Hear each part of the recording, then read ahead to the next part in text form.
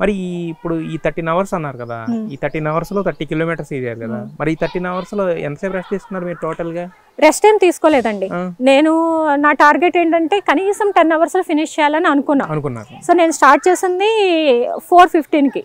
Okay. Start చేసి early morning early morning శ్రీలంకలో మేము తలైమన్నార్ దగ్గర జట్టీలో మేము యాంకరింగ్ చేశారు.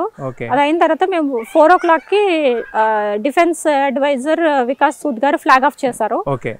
ఫోర్ ఫిఫ్టీన్కి నేను జంప్ చేశాను. జంప్ చేసినప్పుడు ఇంక మైండ్లో ఇంక వెనక ఫ్లాగ్ ఆఫ్ చేసిన వాళ్ళు లేరు బోటు లేదు ఏమీ లేదు. జస్ట్ ఓన్లీ ధనుష్ కోడి ఎప్పుడు రీచ్ అవుదామా ఎంత తొందరగా రీచ్ అవుదామా అని అది ఒకటే పెట్టుకున్నాను నేను.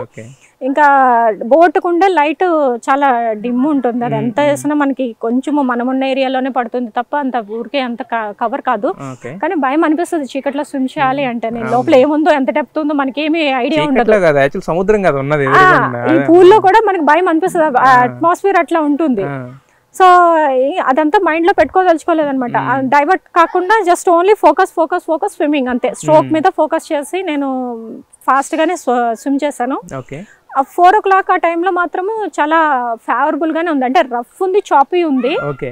సీ అంతని. కానీ కొంచెం ఫేవరబుల్గా అనిపించింది. సాఫ్ట్గా ఉన్నట్టు అనిపించింది. అంటే కొంచెం ఫాస్ట్ గానే స్విమ్ అయింది.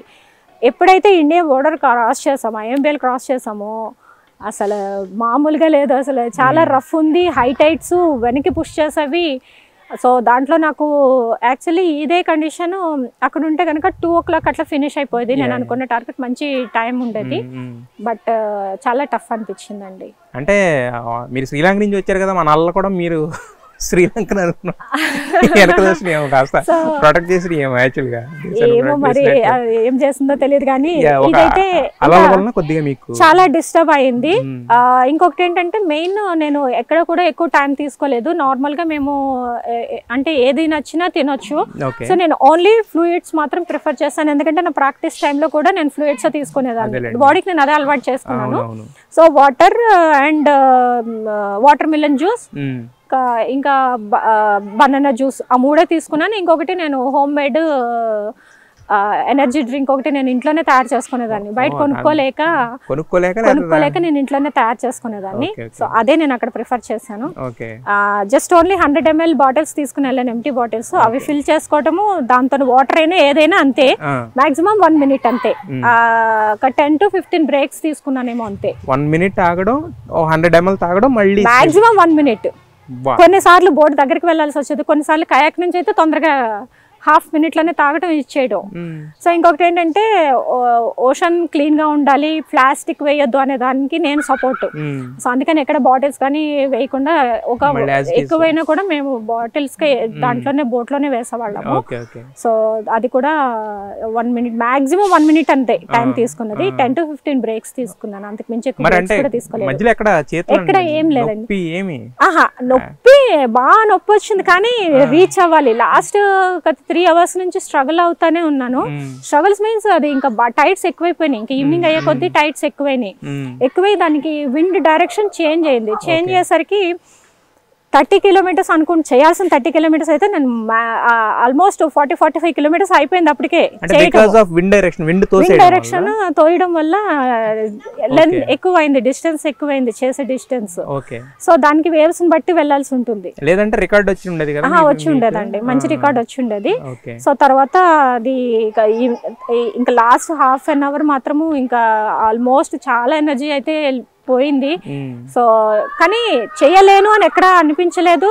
బోట్ ఎక్కాలనే ఆలోచన కూడా లేదు. ఈవెన్ నేను ప్రాక్టీస్ చేసే టైంలో ఒకసారి జెల్లీ ఫిషెస్ చాలా గుంపుగా వచ్చినాయి. చాలా భయం అనిపించింది. ఫస్ట్ టైం ఆ క్రింద చూస్తే ఎంత లోతుందో తెలియదు దాని సైజ్ ఎంతో తెలియదు ఇంత పెద్ద పెద్ద ఫిష్లు వెళ్తున్నాయి. జెల్లీ ఫిష్లు గుంపుగా వచ్చినాయి అది ముట్టుకుంటే యాసిడ్ పోసినట్టు అయిపోతుంది. ఆ భయ అది అది ఇన్ఫర్మేషన్ తెలుసు కానీ ప్రాక్టికల్గా తెలీదు. కానీ జెల్లీ ఫిష్ పక్కన గుంపులు గుంపులుగా వస్తుంటే భయం అనిపించింది. సో బోట్ ఎక్కడానికి ట్రై చేస్తే ఆ రోజు ఇంకా హై టైట్స్ ఉండి బోటులో వాళ్ళే కొంచెము నిలబడటం కష్టమైంది నన్ను పైకి లాగడం వాళ్ళకి ఇంకా కష్టమైంది ఆ- ఆ టైంలో నాకు ఒకటి అనిపించింది. నేను బోట్ ఎక్కడం అలవాటు చేసుకుంటే రేపు పొద్దున్న ఇంకా పెద్ద జీవులు ఉంటాయి సో అవి వచ్చినప్పుడు ముందే బోట్ ఎక్కితే నేను ఫెయిల్ అవుతాను. సో బోట్ ఎక్కకూడదు. ఏదైతే అదైందని నేను చేతులు వదిలేసాను వదిలేసి స్విమ్ చేసుకుంటూనే వెళ్ళాను. ఏది నాకైతే ఆ రోజు ఏమి హామ్ చేయలేదు. హామ్ చేయలేదు. అంటే చూసుకుని వెళ్ళటం అనేది నాకు చాలా మంచి ఎక్స్పీరియన్స్ అయింది ఆ రోజు. ఆ రోజు అయితే నేను డిసైడ్ అయిన బోట్ ఎక్కడ మాత్రం అలవాటు చేసుకోకూడదు అని.